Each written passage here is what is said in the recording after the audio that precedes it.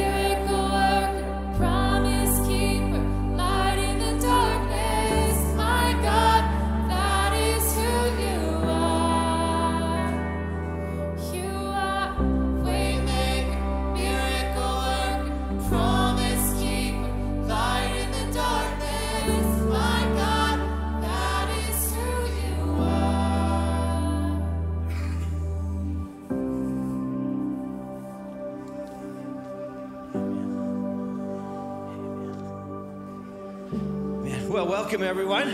So good to be together and worship the Lord together at the house. We're so glad that you're here.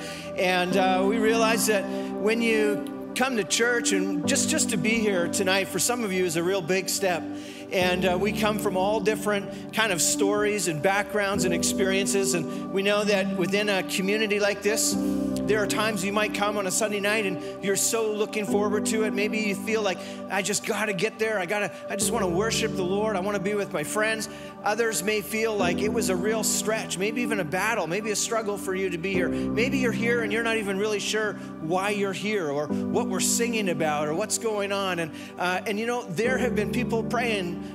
for each one of you all week. And we would believe that Jesus is alive, that Jesus is real, and that you're here tonight for a purpose. You're here tonight for a reason, and that Jesus would meet with you, and He's got a word for you. He's got something for your life. And uh, regardless of what has been going on in your life and why you feel you're here, we believe that you're here because the Lord has something for you. And uh, that's something that each one of us can experience. And so we're so glad to have you join us tonight. And as we step into worship, as we step into singing and thinking about Jesus over the next couple minutes, we know that part of what we encounter and part of what we experience comes out of an open heart comes out of just uh, opening our own lives and our, our own stories towards Jesus. And so we want to just open tonight with just a moment of prayer and just as an invitation for you to join in to invite Jesus to meet with us, to speak with us, to be present with us, knowing and trusting that He's good and that He's got something in store for us. Why don't you join in with me as we pray together as a community? Jesus, we give you the next few moments. There are so many things that are trying to get our attention, so many things looking for our attention. But Jesus, we want to give you our attention. We want to give you our affection, our adoration. We want to focus on you for the next few minutes. I thank you for every life that is here, for every heart that is with us tonight. And that Jesus, you would meet with every person. There would be something, you would whisper something into every person's heart tonight. And so we give you the moments ahead. We make space tonight for you. And if there would be some here that feel perhaps far from you, maybe they're even wondering in their heart what they're doing here and what's going on and what's being spoken about, Lord, I pray that you would just reveal yourself to them. And we give you the moments ahead in Jesus' name. Amen. Well, we're so glad you're here. The team is going to continue to lead us in worship. Trust that you'll just be at home and enjoy the presence of Jesus as we worship together.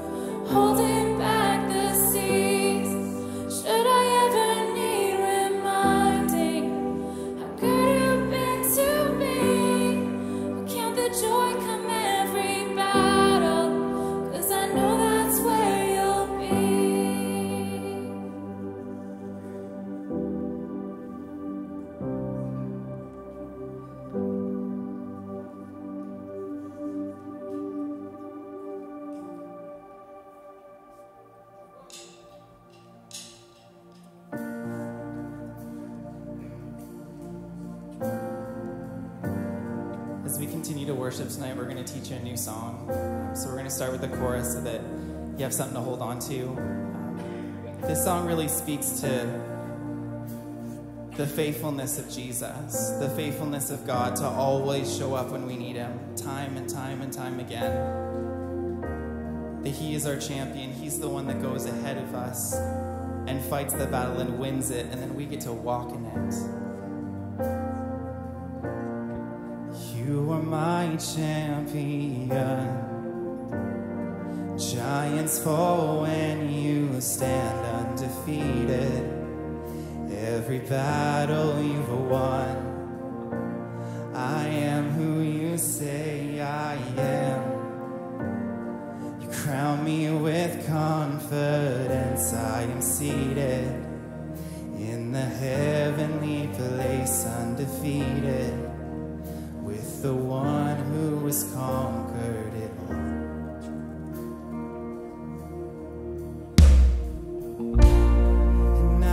it's so hard to see it. Took me so long to believe it. That you choose someone like me to carry your victory. Perfection could never.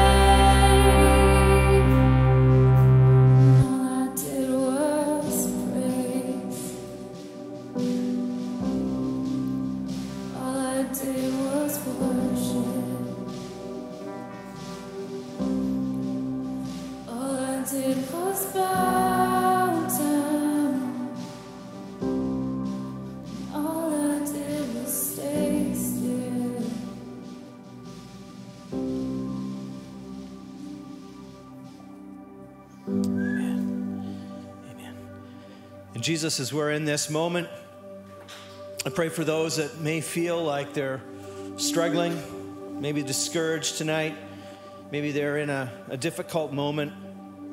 Jesus, I pray that you would strengthen them, you'd lift them up. Thank you that you even led them tonight to join us, to be a part of us tonight. And in a world that's kind of going crazy and there's all kinds of fear and things happening, Jesus, we choose to anchor ourselves to you. We choose to put our hope in you and our trust in you. And Lord, I pray that you would show up in our heart, even, even those that maybe tonight are still uncertain. Jesus, I pray that you would show up in our lives. We put our hope and our trust in you in Jesus' name. Amen.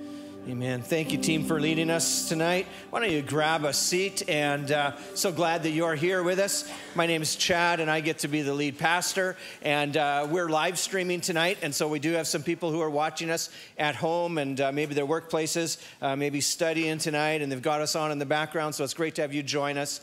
And uh, just a reminder for uh, the rest of us that we do meet during the week, and there are different things that happen in our community throughout the week. there is the student lounge. It happens on Monday and Tuesdays. We've got our food bank. You can even access that tonight if you're interested.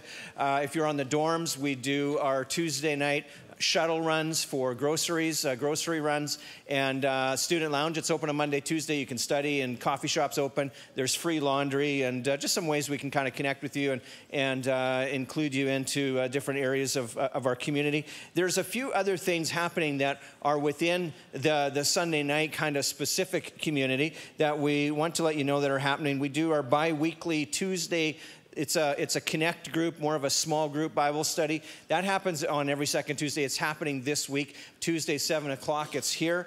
And also the collective, which is uh, a, a, loose young adult kind of, well, that doesn't, that doesn't sound right to say a loose young adult community. They're um, a, a loosely organized young adult community, okay?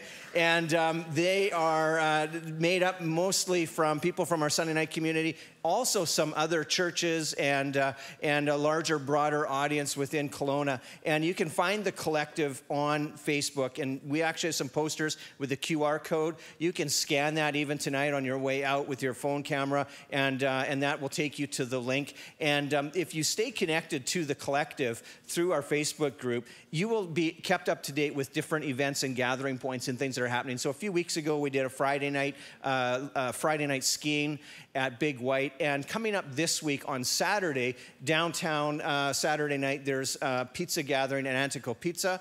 And so again, this is just some just informal, casual gatherings. They're not super organized where you have to always sign up in advance and things like that but it's a great way to just connect with some other people, make some friends, and uh, just do some social gatherings and connections outside of just Sunday night church. And uh, so that's a, something we encourage you to uh, follow up with and to get involved. Uh, also, if you want to give tonight in the offering, there's a couple ways you can do that. One is uh, you can do that in person here. There's the self directed giving at the donation station. That's located underneath the Scrabble board. We also have our online giving and text to give options, and I encourage you to take advantage of those. And just want to say we so appreciate your generosity. Realize that even as students, you know, money can be tight, and uh, you don't always have all of the, the finances. And, uh, but we just appreciate any generosity support you're able to, uh, to uh, bring towards the church to help us be here. And uh, it's, it's always a, a, great thing to participate in worship in that way. Now, we have a guest speaker with us tonight.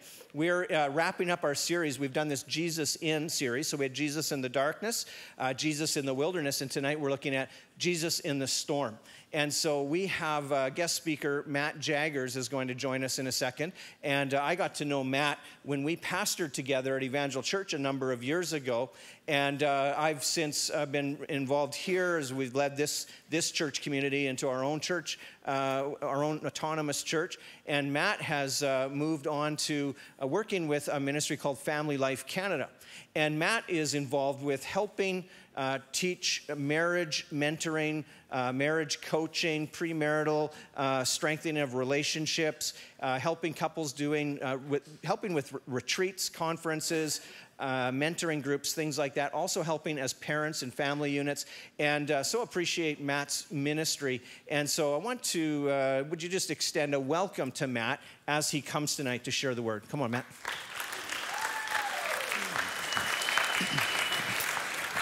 Thanks, Chad.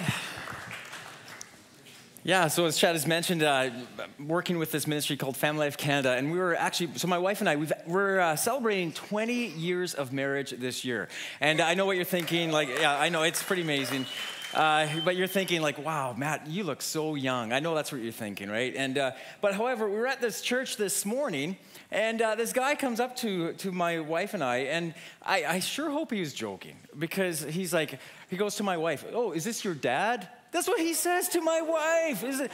So I know, ouch, eh? So, but my wife, she does look really young. So, um, but uh, she's she's not. I mean, she's uh, a few years younger than me, but she's not like super young. She's not like 20 or anything like that, right? So, uh, but we've been married for almost 20 years, and so we're really excited about that, and really excited about being part of this new ministry called Family Life. But uh, that's not what uh, I'm going to be sharing about tonight, right? So we're you guys, uh, we're wrapping up this theme of Jesus in. And so tonight we're going to be looking at Jesus in the storm, all right? And uh, that's something that, uh, there's something that we all have in common, right, as individuals. Every individual before us and after us, uh, and everyone here in this place has or will face difficult times. All right, so the reality is, you will, I hate to break the news here, all right, you will eventually face, or if you haven't already, you will face some, uh, some difficult times, whether it's financial struggles, whether it's dealing with broken relationships or unexpected situations that, that come our way. Every single one of us will experience times in a storm. And uh, it, will be a storm that, that tries to disrupt, to destroy, and to bring you ruin in your life. And so the question is what do you do in that kind of storm? And how should you react? And where is Jesus in the storm? I uh, recently moved back uh, from Saskatchewan. Any, anybody here from Saskatchewan? Anybody- yeah, a few people? Awesome. All right. So I just I was in uh, Saskatoon for two years working at a church there. We just moved, moved, moved back in September. And so got to experience a couple of summers in Saskatoon and got to experience a summer of thunderstorms. And I the thunderstorms over there seem a little bit different over here. I mean, the thunder just seems to roll on a lot longer than it does here. And, but I recall there'd be a summer evening and the, the, the day was just a beautiful day, but then all of a sudden this storm would roll in and it would just crack with thunder and there'd be lightning and, and uh, it'd be, it would shake the house. Uh, and sometimes these types of storms would bring in hail. And the hail would bring some damage to the houses. I mean, when I first moved there, everybody was getting their house, uh, all the roofs redone because of insurance, because of hail damage. Uh, sometimes uh, the storms would bring in these strong winds, and these winds would cause damage, ripping off uh, shingles off the houses or bringing down trees. And so there were some pretty incredible storms I got to witness during my time in Saskatoon. But I think the most terrifying storm that I have ever experienced was a time camping in a, in a lake or, or on, on a lake in southern BC. And my, my family and I, we were camping right on, on the beach, and it was boat access only. And so we had, we had a boat with us. And on one of the days, we had these 90 kilometer winds come down the valley. I mean, that's it's pretty intense winds, and they're coming, and there were trees that came down. But I remember all our stuff was blowing around everywhere, and we're chasing all our stuff, trying to gather it all and put it all in a safe place. We're holding on to our tent, we're holding on to the boat as it's just crashing through the waves, and we're trying to keep it up on the shore. And there was, in fact, there was, I looked out on the lake, and the waves were just huge, uh, and there was only one boat on the lake. And the reason why is because it had been torn off of its anchor and it was just floating aimlessly down the lake. There was nobody in the boat. I mean, it probably ended up at the bottom of the lake, I'm certain. But it was a terrifying storm. And I think storms, they can be pre- unpredictable, they can be terrifying. And so we're going to look at a couple of encounters that Jesus and his disciples experienced in a storm. And so if you have your Bibles, uh, it will be up on the screen too, but we're going to look at Mark chapter 4. We're going to look at a few verses there, verses 35 and then we're going to flip right over and we're just going to read these two accounts back to back, all right? So you can follow along up on the screen there. So this is starting right at verse 35. As evening came, Jesus said to his disciples, Let's cross to the other side of the lake. And so they took Jesus in the boat and started out, leaving the crowds behind. But soon a fierce storm came up. High waves were breaking into the boat, and it began to fill with water. Jesus was sleeping at the back of the boat with his head on a cushion. That sounds pretty comfortable, eh? Jesus is just sleeping there. Now, I know there was a time change last night, so I sure hope nobody's gonna be falling asleep tonight here. All right, so Jesus is sleeping with his head on a cushion. The disciples woke him up, shouting, Teacher, don't you care that we're gonna drown? When Jesus woke up, he rebuked the wind and said to the waves, Silence, be still. And suddenly the wind stopped and there was a great calm. Then he asked them, Why are you afraid? Do you still have no faith? The disciples were absolutely terrified. Who is this man? They asked each other. Even the wind and waves obey him. And then we're just going to flip over and, and, read another narrative about Jesus and the disciples involved in the storm. And this is, just to give you some context, this is just right after Jesus feeds the crowd of 5,000, right? And it's actually even more than 5,000 people, but it's right after this. Jesus immediately, after he feeds the 5,000 and all that, Jesus insisted that his disciples get back into the boat and head across the lake to Bethsaida. While he sent the people home, and then after telling everyone goodbye, he went up into the hills by himself to pray. Late that night, the disciples were in their boat in the middle of the lake, and Jesus was alone on land. He saw that they were in serious trouble, rowing hard and struggling against the wind and waves. And about three o'clock in the morning, Jesus came toward them, walking on the water. He intended to go past them. But when they saw him walking on the water, they cried out in terror, thinking he was a ghost. They were all terrified when they saw him. But Jesus spoke to them at once. Don't be afraid, he said. Take courage, I am here. Then he climbed into the boat, and the wind stopped. And they were totally amazed, for they still, they were totally amazed. These are some pretty incredible encounters that Jesus and the disciples had. I mean, and these are physical storms. But we do discover some insights on how Jesus deals with storms. And this also refers to how he deals with storms in our lives. And we're going to take a look at a few uh, examples in the Gospels where Jesus interacted with people that were going through storms. But I want to ask did you notice in both encounters, in both stories, Jesus doesn't seem too concerned about the storm? I mean, in the first account, he's sleeping. He's sleeping in the boat. All the other disciples, they were all panicking and they're terrified that they are going to drown. Now, Jesus spent the day ministering to people and he was probably exhausted, but no doubt so were the disciples. They would have been exhausted being around these crowds of people with Jesus, but yet they were too they were more concerned about what was going on with the wind and the waves and the storm. But Jesus was content just to get some sleep. In the second account, the disciples left as evening came because Jesus sent them on their way. Now, let's we'd have to suppose that they left around 7 or 8 p.m. in the evening after they fed all the people. And Jesus took some time to go up the hill and, and take some time to pray. And then he comes back down and he notices that the disciples are struggling out on the water in the wind and the waves. And so he makes his way out to them. I mean, they're out in the middle of the lake having this struggle. I mean, they, if you think about it, Jesus arrives to them about 3 a.m. walking on water. They had been out there for at least about eight hours struggling in this storm. I mean, I think that's pretty crazy that Jesus just walked out there. And, and the crazier part is that it said, Mark, Mark says that Jesus intended to go past them. I think that's, that's just crazy.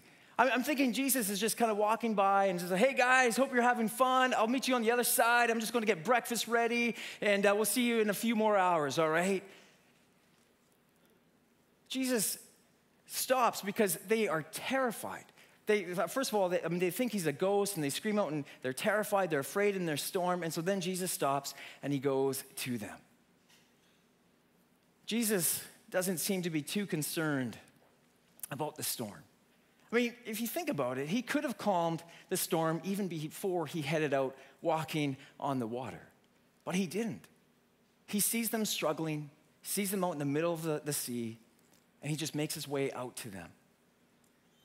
And it's interesting because we do see a similar response by Jesus when he's interacting with a few people within the Gospels.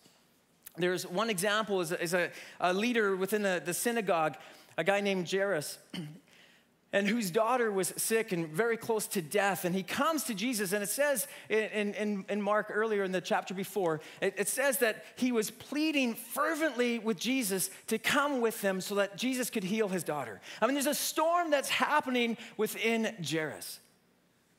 And so Jesus says, Yes, I'll, I will go with you. And as they're walking in the crowds of people, Jesus and the disciples, there's a lady who had been sick for years. And, and she just, she believes that if she could just touch the hem of Jesus' garment, that just the, the hem of Jesus' robe, that she would be healed. And so she does. She reaches out and she touches his garment and she is healed. And, and Jesus is aware of this miracle. He's aware of what just happened. And so he stops and he begins to have this conversation with this lady on the street. And I'm just thinking in my mind, like Jairus, he's pleading fervently, he's begging Jesus to go with him to heal his daughter.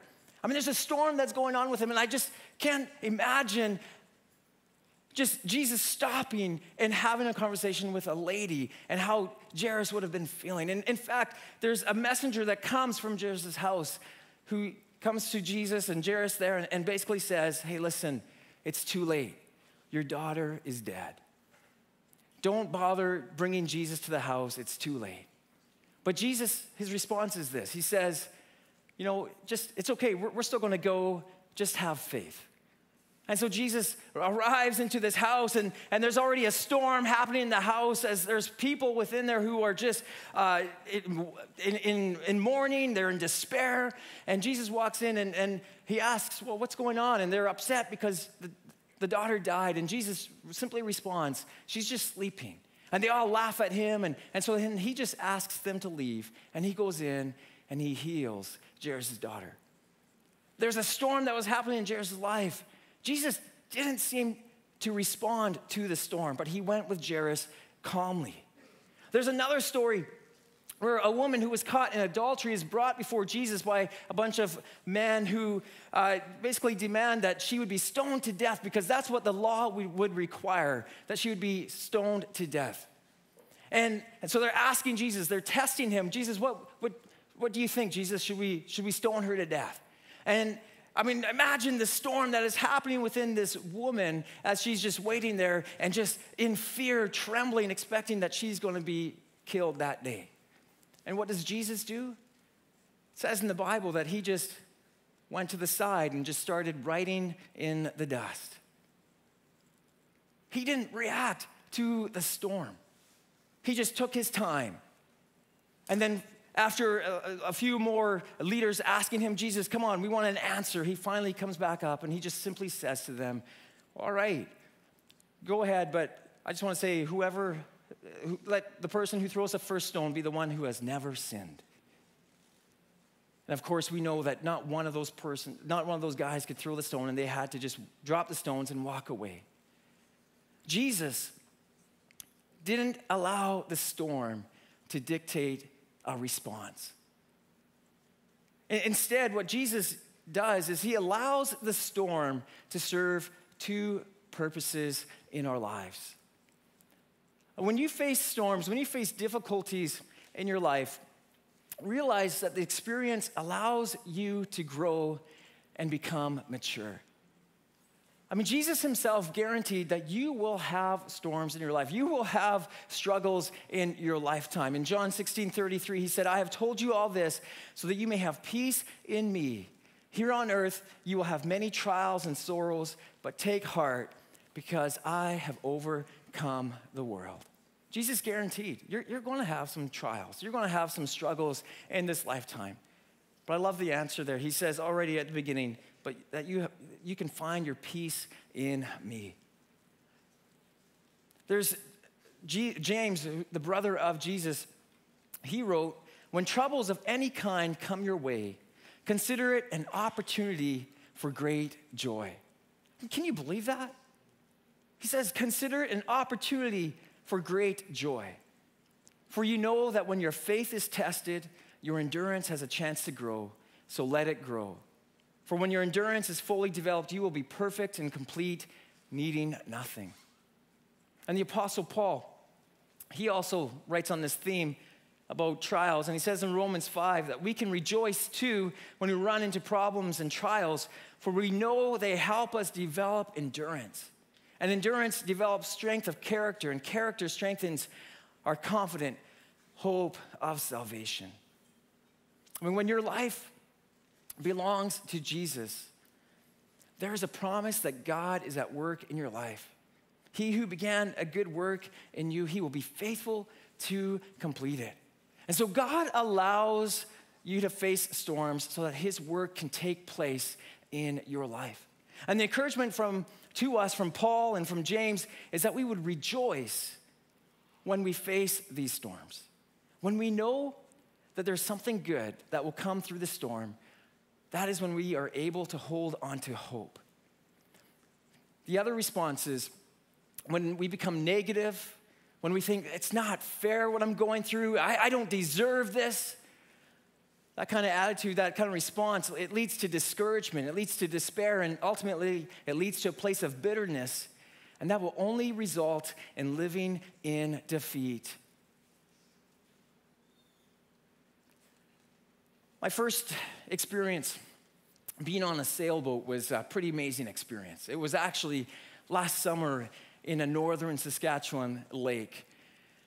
And I was, it, it, was a light breeze, it was sunny, it was warm. And I went out there with a friend of mine who was uh, in, uh, on, in control of the sailboat. He was at the tiller, which is the steering mechanism, and he's holding the rope. And I'm just kind of sitting in the front of the sailboat and just relaxing. And we're going up and down the lake. And it was just wonderful. It was peaceful. It was just a great experience. And so when the opportunity came up again to go out the next day, I was like, yeah, I want to I wanna go out there again and enjoy the water. And thing is, the wind was a little bit stronger this day, and so we get out there, and we're it was it was thr- more thrilling of a ride as the waves were, were choppier, and we're going up and down the lake and experiencing a little bit more speed with the wind. And then, as we're quite a ways down the lake, he turns to me and he asks, "Hey, uh, do you want to try? Do you want to try steering this?" And I'm like, Oh, of course I do. I want to give this a shot. And so I get in the, in the, in the back, he gets up to the front, and I'm controlling the, the steering. I'm holding on to the rope and navigating the turns, going back and forth, up and down the lake. And then all of a sudden, there was a strong gust of wind that came in, and it hit the sail really hard, and it just pulled the boat right over the front of the nose, went right into the water, and the boat just capsized instantly. Just in a moment, I'm in the water, and I just can't believe what just happened. I, mean, I was a little terrified. I thought I just wrecked the boat. I thought we were going to have to swim all the way back into the shore. We're halfway down in the lake. But my friend, he's all calm and he's just like, hey, no big deal. Let's, I'll show you, we're going to get this boat back up. And it was, it was a good experience for me to kind of go through this because I was able to learn some good things. I was able to learn how to get, get the boat back up. I was able to have a greater understanding of how to handle the wind through uh, when it's stronger and navigate through the sail. It was a good experience for me. And, and the other part, too, was my friend. I, because I was a little bit frantic throughout the whole situation. My, my friend, he was calm. He had experienced this before. He had experienced this a number of times, actually. And so it was no big deal for him. He had, he had grown through this experience, and so he was able to be calm and help me through the experience, even though I was a little bit frustrated and, and frantic through that time. But he, was, he had grown through this. He had matured in the, the activity of sailboating, and it was a good experience for me. But the, also, what I, I noticed was in that moment when the boat just flipped over and in, in an instant, I was in the water, my Ray-Ban sunglasses sinking to the bottom of the lake. I, I was terrified in that moment. I was just freaked out. And the reason why was because I had no control over the situation. I, I couldn't do anything about it. The storm reminds us that we are not in control. God allows storms in our lives to remind us we are not in control.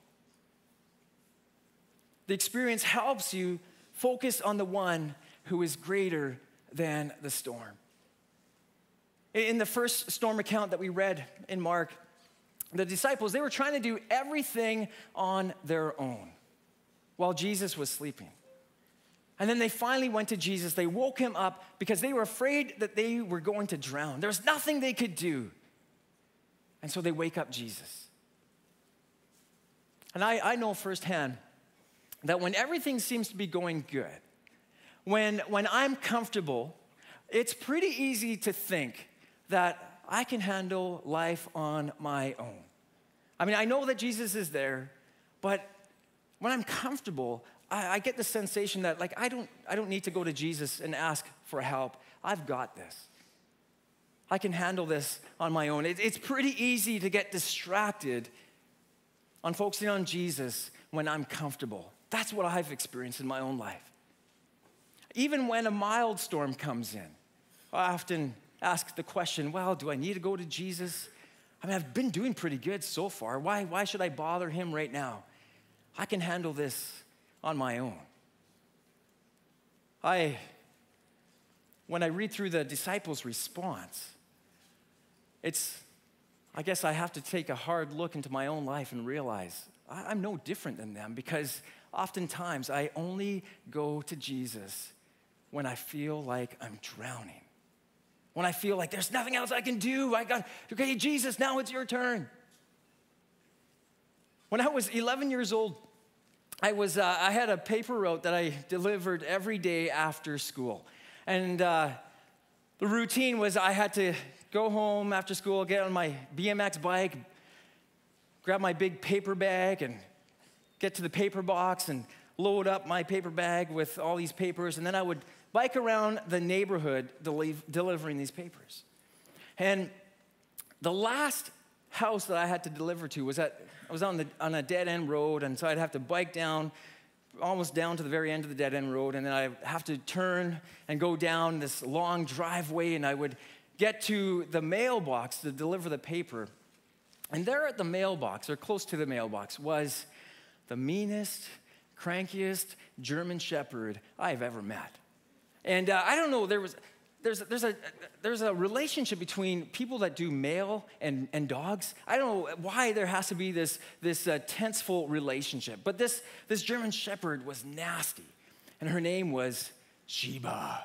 That doesn't that just strikes you know the, the, the chills down your spine, right? Let me say that one more time. Her name is Sheba. Okay, and so uh, Sheba, I don't think Sheba liked me very much. In fact, I know she didn't like me because I would come to the mailbox and she would have this regular routine every single time where she would snarl at me, she would growl, she would bark, and then she would get up and be all intimidated. And she was a big German shepherd, and then she would start coming towards me with her sharp teeth.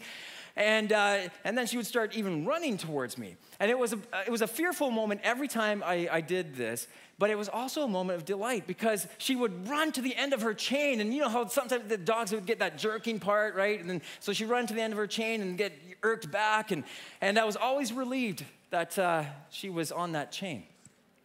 Well, there was one day I was uh, delivering the paper and I get the same routine. I get down there and I mean, hey, Sheba. And then she's, you know, growling and barking and all that kind of stuff. But there was something different this day about Sheba and uh, about the whole experience because, and I really noticed the difference when she had come further than ever before. And then I noticed that her chain wasn't on. And so I hopped back on my bike and I pedaled out as hard as I could, as hard as my 11 year old legs could, out of that driveway, started going down the street. And I remember I turned around and I could see Sheba's mouth just open wide, her just watering to get a taste of sirloin steak, which was going to be coming out of my rear end. And I'm thinking, what am I going to do? And the only thing I could do was say, and I shouted out, and I, am sure it echoed across the valley. I shouted out, Jesus! That's that. And all of a sudden, I had this confidence. I, I, I, don't know what happened, but I jumped off my bike and I got it in between me and Sheba. And maybe I, it could have been because of the, the sudden change of events, or it could have been because there was angels behind me. I don't know what happened, but Sheba just stopped. She was just shocked. And then she calmed down, she turned around, and she ended up going back home. I mean, I almost had a heart attack at 11 years old. It was devastating. I was terrified. But storms, these kind of situations where we're out of, we have no control, where there's nobody, it feels like we're drowning. These situations show us how little we really are. And it also reveals, though, that there is someone who is greater that we can call out to. I mean, the reality is every day we live our lives, the good days, the difficult days, each day that we might face trials, they would all be completely different.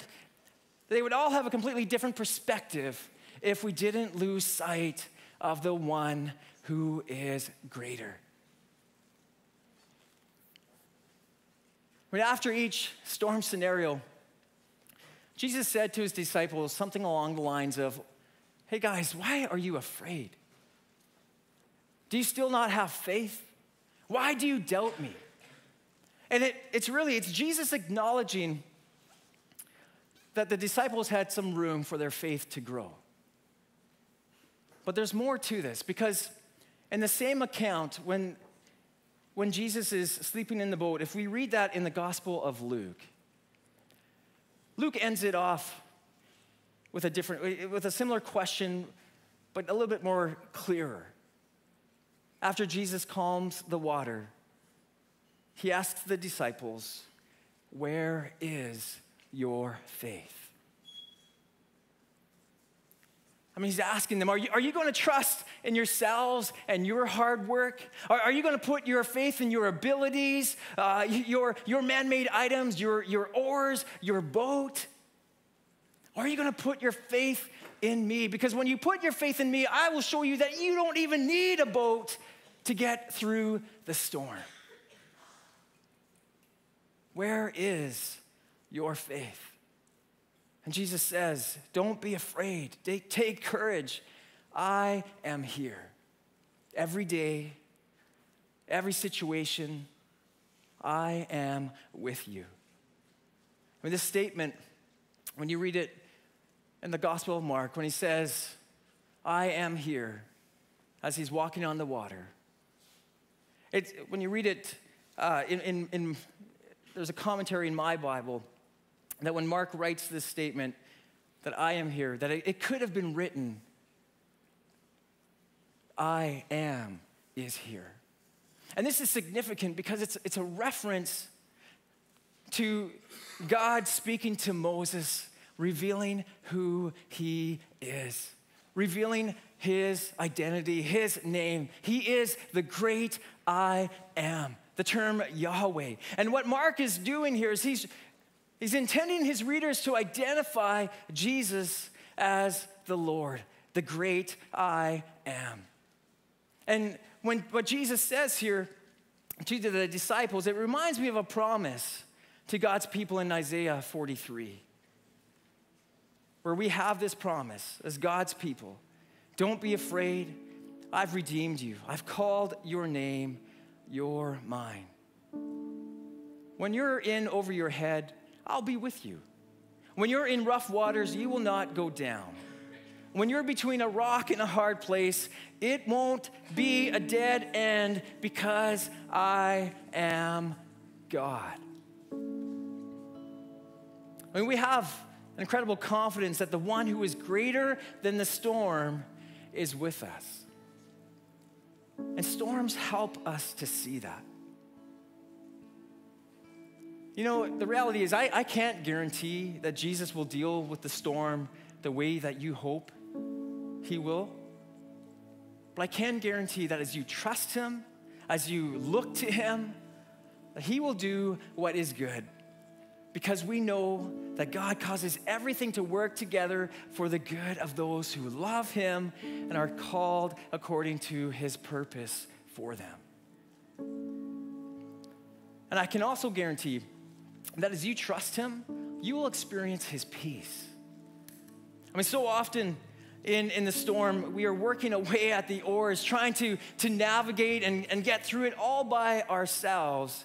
But when you look to Jesus, you will experience peace through the storm. Author, pastor, uh, author and pastor Timothy Keller, he shares putting your faith in Christ is not about trying harder. It means transferring our trust away from ourselves and resting in him. I just, I like the word rest. Maybe it's just because I'm getting old, but I just like that word rest. In the book of Hebrews, we read about an incredible hope that we have when we trust in Jesus. And, and the, the writer, he uses the image of an anchor, which is it's another anchor of being in, uh, sorry, another analogy regarding being in the boat. But he writes, This hope we have is a strong and trustworthy anchor for our souls. Now, I don't know a lot about sailing other than my experience that I had last summer, but I know what the anchor is meant for. The, the anchor is, is meant to, to keep you grounded, it's, it's to hold you down.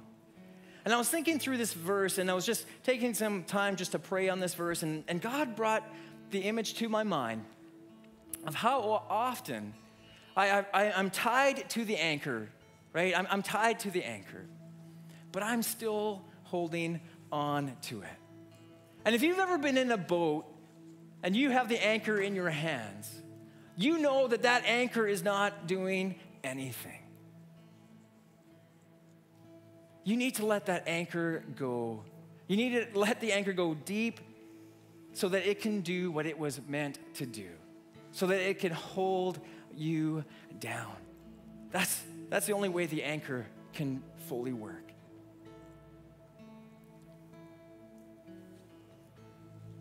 The Apostle Paul writes in 1 Timothy 1 that he makes it pretty clear that it is Jesus who is our hope.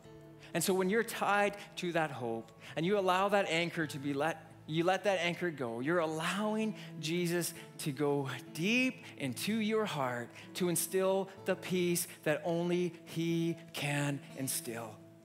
You're no longer trying to keep things in control. I'm, I'm, thinking of the disciples. I mean, they believed in Jesus, yet they're still trying to do everything on their own. And then they finally realize they can't. They can't do it. And so then they go to Jesus. Often I, I just need to remind myself I need to let that anchor go when I'm in the storm. I'm tied to the anchor, but I need to let it go to instill that peace in my heart as I encounter, as I endure through the storm.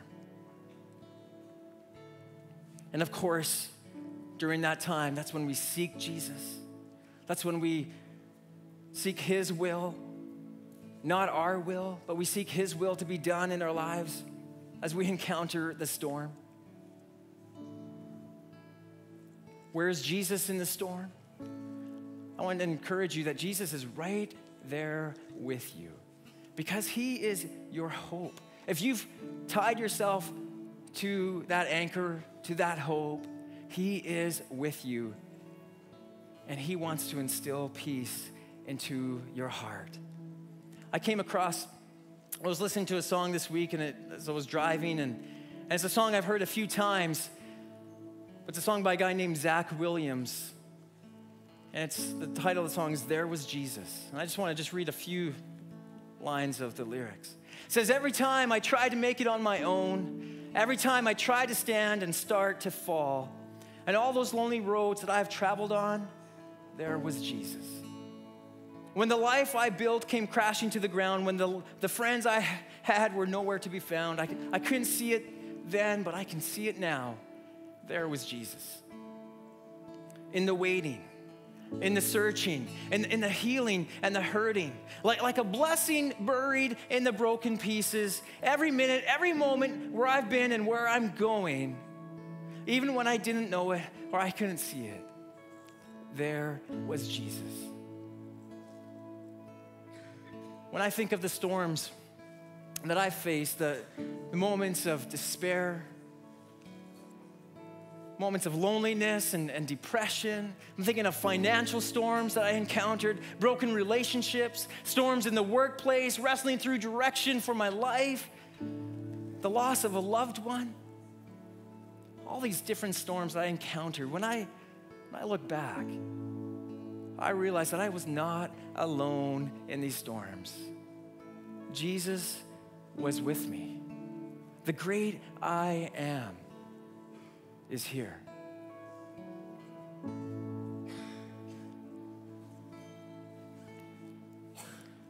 Tonight, maybe you've come into this place and I don't know if you knew that this was the, the theme of the, the talk tonight Jesus in the storm.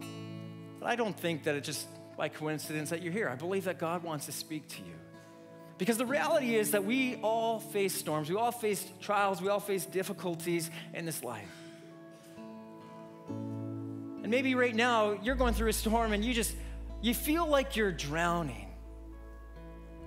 I just want to speak encour- encouragement to your heart right now. The great I am is right there with you. I'm just going to invite you just to, to close your eyes right now in this moment.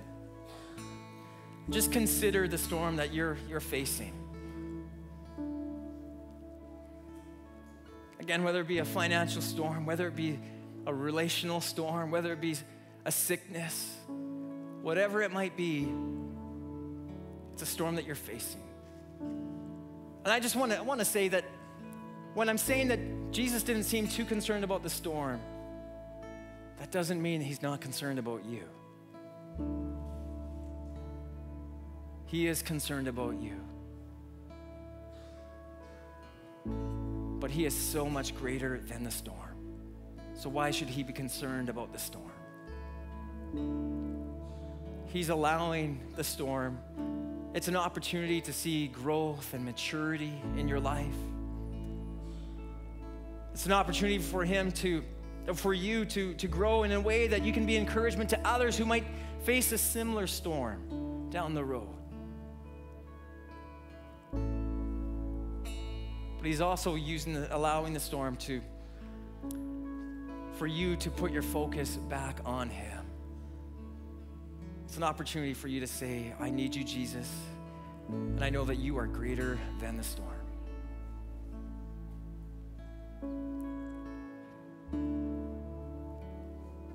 And even as I was just sharing about the anchor, maybe, maybe you can relate to that image of holding on to the anchor. And it's still, I mean, you're not experiencing peace in your heart right now as you go through that storm or the storm that you might be facing. I just want to encourage you, you're tied to that anchor. You can let it go deep to instill the peace in your heart because that is what Jesus wants to do.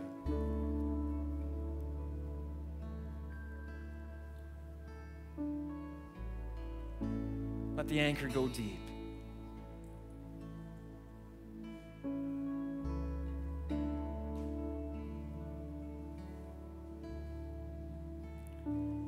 As we read through the storm encounters in the Gospel of Matthew, he writes that as Jesus calmed the water and at the end of the storm, that the, the disciples' response was worship. They worshiped him. And so, in the middle of the storm, whatever situation you might be in, I just want to encourage you. Wonderful way to put your focus back on Jesus is to worship him. And so, we're going to sing this, this song tonight called Yes, I Will. And it's relevant in the, in, the, in the way that, as no matter what situation we might be facing, that we will still choose to worship him, to lift up Jesus, to put our focus on Him because He is greater than the storm. And so, Jesus, tonight, you know every situation here, you know every individual, what they're facing. And God, I just pray that you would just begin to speak to their hearts. God, for those that are right now just encountering this storm and they're feeling that they're drowning, God, I pray that you would encourage them and let them know that you are there with them you have not given up on them. And tonight, God, that they would just be encouraged and to respond in worship to you. And God, I just pray that as we continue to live our lives, God, that we would live in a manner that we would not lose hope, that we would keep ourselves tied to this anchor. because you are that anchor. You are our hope.